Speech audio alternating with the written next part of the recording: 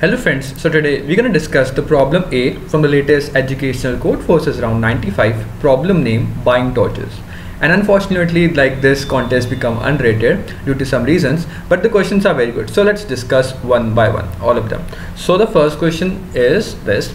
In which you are given that you are playing a very popular game Cubecraft and initially you have one stick okay and you want to craft k torches okay. So to craft one torch you required one stick and one coal okay now you can do some trades. In like there are two types of trade. In the first type of trade what you can do you can exchange one stick and you can get x sticks. So like you can give one stick and you can you will gain one x sticks.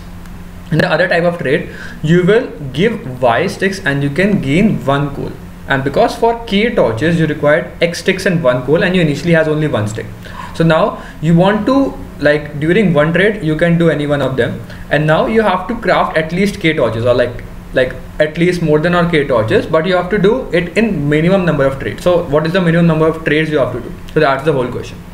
So now uh, let's draw draw this out to make it even more clear.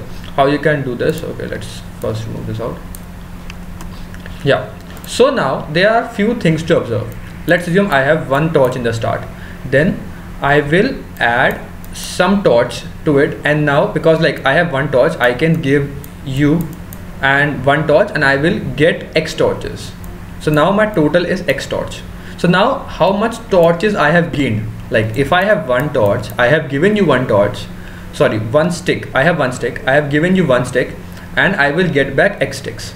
Okay so how many sticks actually I have gained? I have gained X minus one sticks so in every turn I can gain x minus 1 sticks because I will give uh, 1 stick and I will gain x sticks. So how many total sticks I have gained in one trade? X minus 1 sticks. So x minus 1 sticks you can gain. Okay now that's the second thing to observe here is I don't have initially no coal but I have to gain some coal. So let's assume that first find out how many to form k torches I will require k coals. So if I require k coals how many sticks I will require to form or like to get k coals? Because for one coal I required y sticks. If I want to get k torches then I will require k coals. And for k coals I will for each coal I will require y torch like y sticks. So total number of sticks I must have is equal to k plus y. Now k plus y sorry k into y. If k into y is the total number of sticks I have then what will I can do? I will trade these number of sticks with the key coals and now my coal number is fulfilled. Now in this uh, okay okay now the second thing is I must also should have k sticks. Okay so plus k this is the total number of sticks I, I should have because if this is the total number of sticks I have then I can use this k sticks as it is and trade these k plus k into y sticks with k coal and then I can form k torches. So this is the total number of sticks I must have. I can easily find this out. Now to get this much of sticks I have to like from 1 I need to reach this point.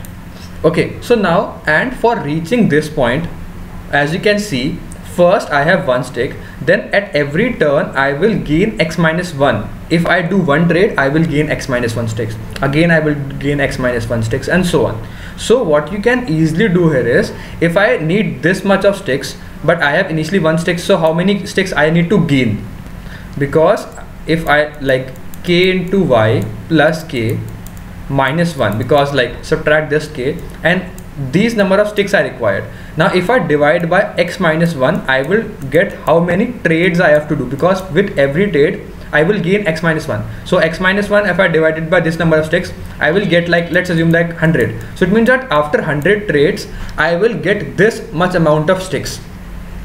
Okay but after this number of trades what will I have to do? I will have to trade these sticks k into k like k into y sticks and like do key operations such that for all those sticks I will give y sticks and I will get one coal y sticks one coal so I have to again do k operations to get the other sticks. That's a little bit confusing. So the first thing is I have to get all of these sticks using this uh, like formula in which I can use this much of sticks divided by x minus 1 and I will get some number which is the total number of sticks I can get. After getting all those sticks I will convert this amount of sticks into the coal and that's the total number of operation I will do. So that's the whole logic for this question. Also, also what you can do here is if this term k into y plus 1 or like minus 1 like plus k minus 1 if this term is total divisible by x minus 1 then the answer is this but let's assume that uh, let's assume that i x minus 2 turns out to be 2 and this turns out to be 51 then then like what can I see it see here is like it is turn out to be 25 25 but if I do 25 chances if I like 2 into 25 at every chance I can gain 2 sticks. So after like after 25 turn I will gain 50 sticks but I will require 51 sticks. So what will I do? I will like I, I have to do one more step. So I have to check that okay there should not be any modulus here if like it is completely divisible by 2 then the answer is okay 25 only. If it is just 20 50 and it's completely divisible by 2 then the answer is 25 but if some numbers are left then I have to do one more step to come out to be like to get greater than this number of sticks. Because I should have at least 51 sticks. And that's the whole trick for this question. Let's move on to the code part now.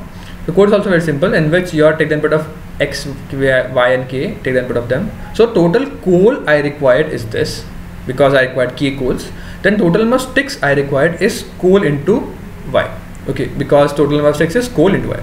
Then I have to add k more sticks because uh, like I have to take this amount of coal and for this amount of coal I require this amount of sticks and then I have to add k more sticks to get the total number of sticks. But because I have one more stick initially so I will subtract one from it.